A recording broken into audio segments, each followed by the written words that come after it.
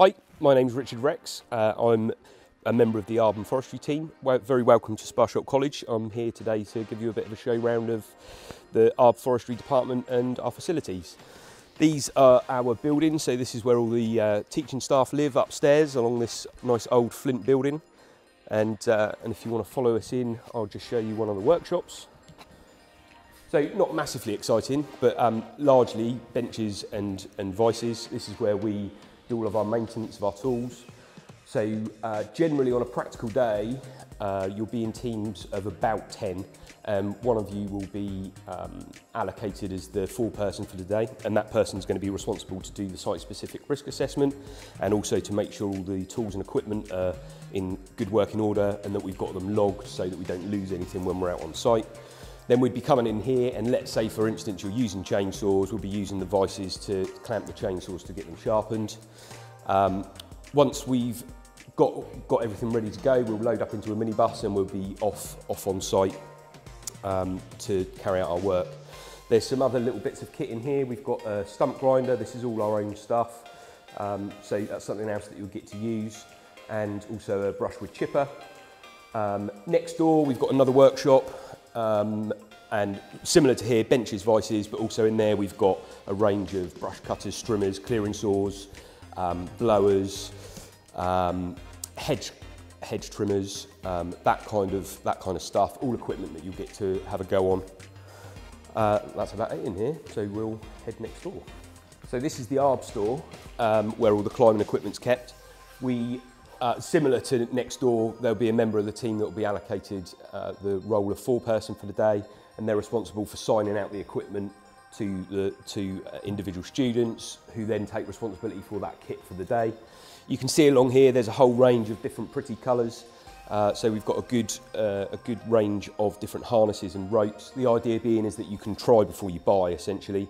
It's all here for you to use. There's nothing wrong with you using your own, but I would certainly recommend that you wear out our kit whilst at college rather than, uh, rather than wearing out your own.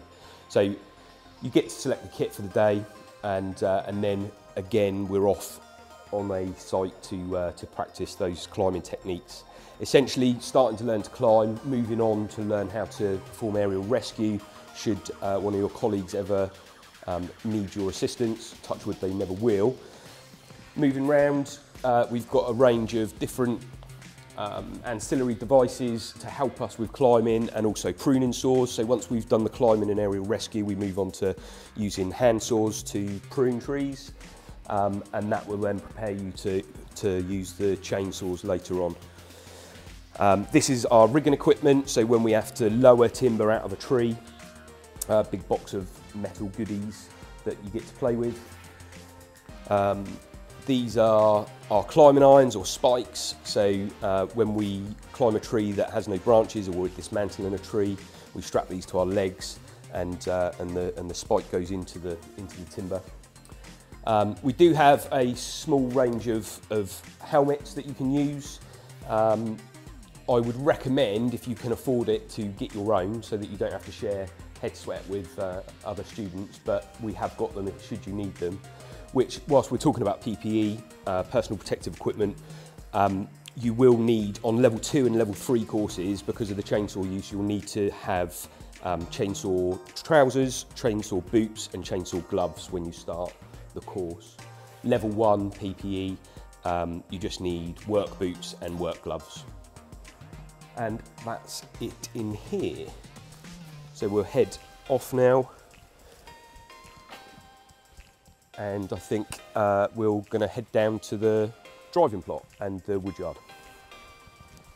Okay, so now we're down at the uh, crosscut bays. So um, these areas here are where you will very first use a chainsaw, start it and start cross-cutting or logging pieces of timber. So they're spaced apart so that we would have one uh, student working in a bay and then a space and then one student working in a bay. So it's a nice controlled, safe environment.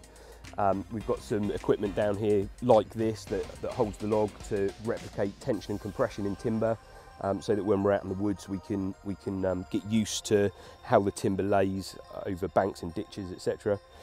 Um, the timber that we use is all stacked up over here so this is, this is wood that has been felled by our students and then processed on site and then extracted by our students as well and brought back to college uh, ready to uh, ready to train guys that are learning to use the chainsaw.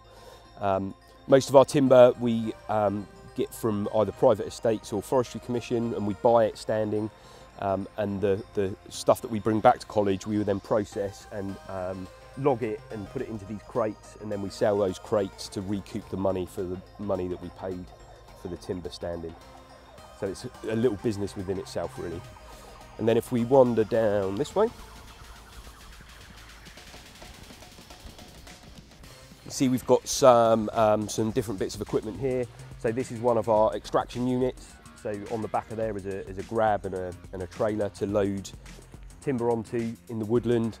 Um, just behind you, there's some other pieces of, of equipment. So this is this yellow piece is a, is a um, peeler, so that strips the bark off of um, pieces of wood to make fence posts. Uh, that's a tractor mounted winch over there on the left. And we've also got some hydro tongs, that's from, for dragging trees around in the woods, and, uh, and a pointer as well to make fence posts.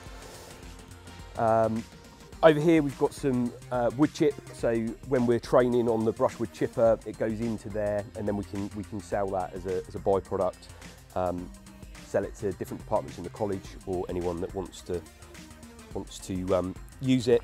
Um, these are some of the fence posts that we've been making.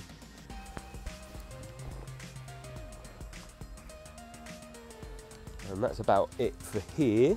There's just some overspill crosscut bays in here for when we've got um, high numbers of students working down here. Hydraulic log splitter, so this goes on the back of a tractor so that we can uh, we can split timber.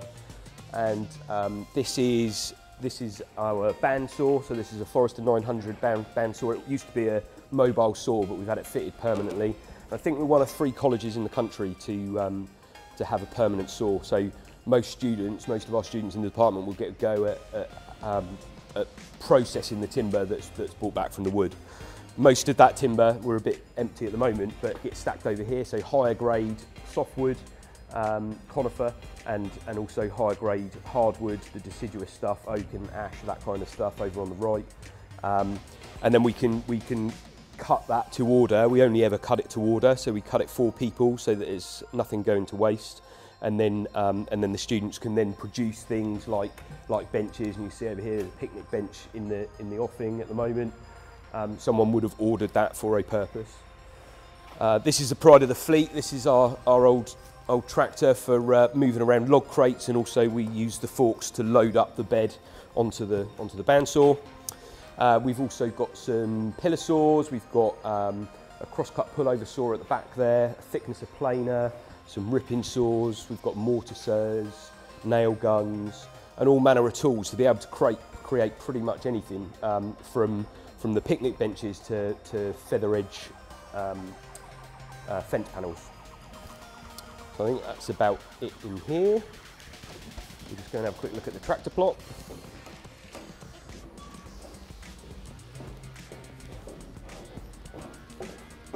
And here's the uh, here's the tractor. So this is the crane unit that um, that operates and, and, will come over, pick up timber from the floor, and then load it up in, into the, uh, the holding tray, um, and then drive off out of the woods. Uh, and either bring it straight back to college, or if we're further away, it will get loaded up ride side, and uh, and someone can then come along and collect it on a on a big lorry.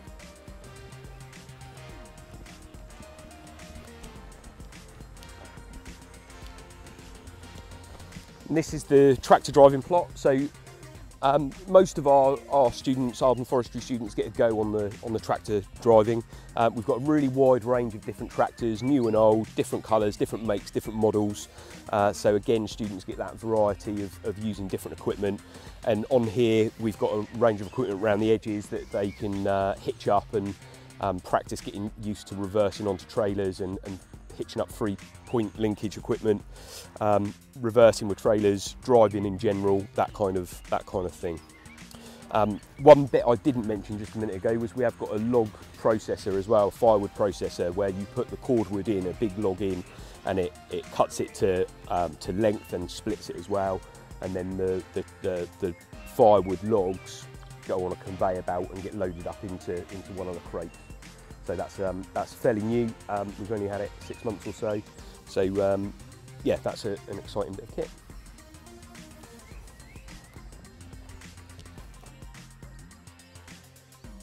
So this is uh, another of the resources that we use. As you can see, there's uh, some quite pretty looking trees through here. Um, they're all labelled up, so um, it's a good, great resource for, for um, learning tree names um, because you can come and look at the identifying features of a tree and then, and then check your knowledge against the, the label that's on the tree. Um, we'll have a wander over here as well. I'll show you a couple of other trees that we sometimes use for practicals.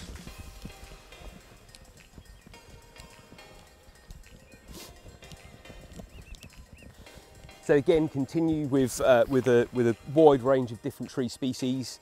Um, these trees behind you um, we will use usually when you first start to learn to climb because they're, um, they're quite good sized trees and uh, reason, reasonably easy to climb. So uh, you'll, you'll get to go on those if you choose one of the climbing, climbing routes. Um, with regards to tree identification, we've also got a small pinetum that we use um, to help you learn your trees and also an arboretum, uh, which is the arboretum's collection of, of, trees essentially. Pinetum is a connection of conifers, um, pines, cedars, that kind of stuff. Um, and I think that probably concludes your tour. So I hope you've enjoyed it and, uh, and we look forward to seeing you.